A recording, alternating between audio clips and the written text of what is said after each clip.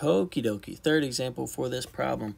I will not do this problem much faster because there's actually a twist with this version.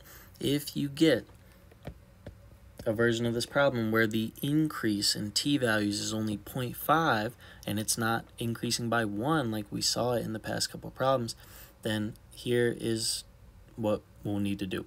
So before we defined p prime or the rate of change of the function at say 1.5 as how much is p going to change by as t increases by 1, say from 1 to 2 or from 2 to 3. That's what p prime represented before. And it still does, however, we're given intervals of 0.5. So what we have to do is really it's like finding the slope between 1.5 and 2. And so we're still going to find the difference between the 58 value and the 76 value, but then we need to divide it by 2 minus 1.5. In other words, 0.5. And so um, we'll talk through that as I'm calculating it. So 58.0708 minus 76.0707. So that gives us the change in P if we were increasing by one whole t value, but we're only increasing by half a t value. So what we do is divide by 1 half, and we get negative 35.9998. All right, so that's how much we would actually increase if the t value was going up by a whole 1, which maybe we could see that from here to here-ish, you know, about 35. So then we'll do the same thing for the p prime at 2, so we'll do the 44 value minus the 58 value but then we will divide it by the difference in t value, so 0.5.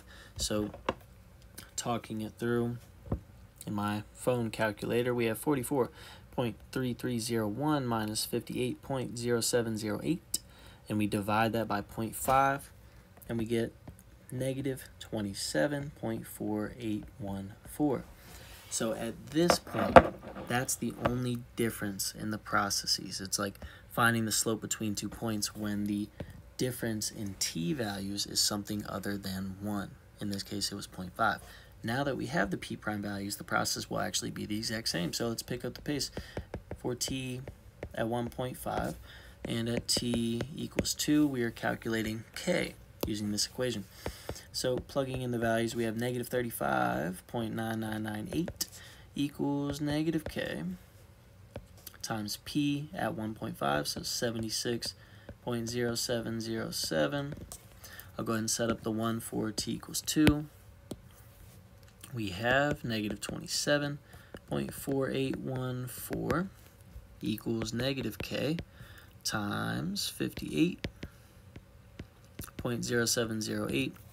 And for each, again, we will divide by the negative 58 value. And then on this side, on the left side, we'll do the negative 76 value. Go ahead and calculate each of them.